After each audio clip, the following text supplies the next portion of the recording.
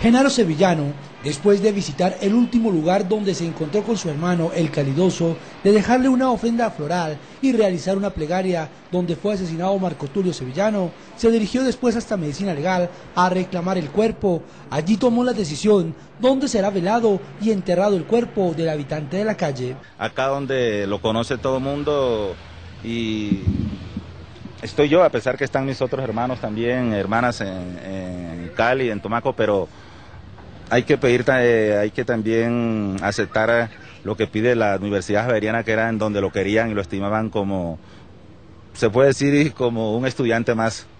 Después de 17 años de verlo en la calle y de ofrecerle ayuda al calidoso, Genaro pidió a las autoridades celeridad en las investigaciones para que los asesinos de su hermano sean capturados. Me trae los recuerdos más tristes.